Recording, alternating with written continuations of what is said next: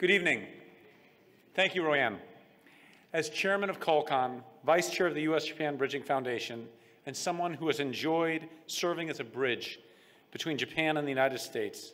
it is my honor to introduce Ambassador Carolyn Kennedy. Since her appointment, Ambassador Kennedy has taken an active interest in deepening the relationship between Japan and the United States and people to people exchanges She has been especially committed to achieving the goal of doubling the number of students exchanges by 2020, by 2020 as uh, Senator Mineta talked about earlier today.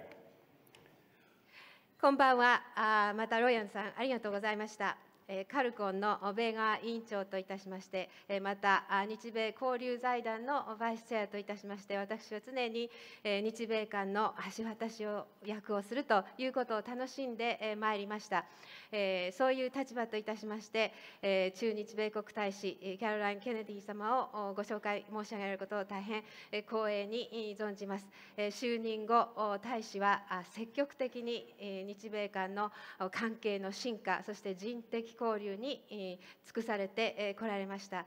特に2020年までに交流学生数を倍増させるということで強くコミットされておられますこれは今日先ほどですね皆田様がお話しくださった上院議員がお話しくださった通りのことでございます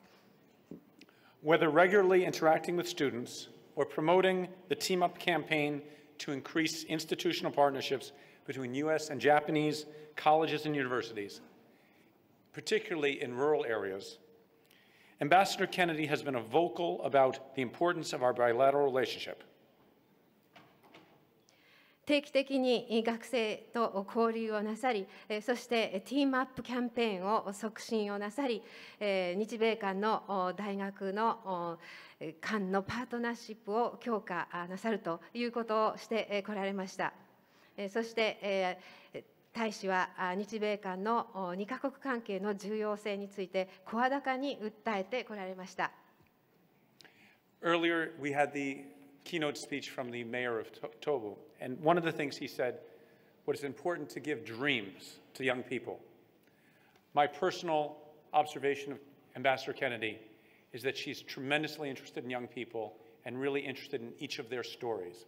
She has someone who has truly been dedicated to dreams.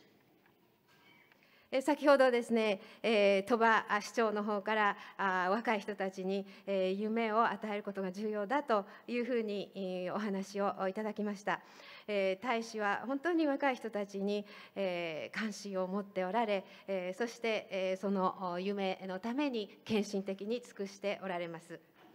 Both Japan and the United States are fortunate to have someone with such deep knowledge and passion about the transformative value of education. It is my pleasure to introduce our champion, Ambassador Carolyn Kennedy.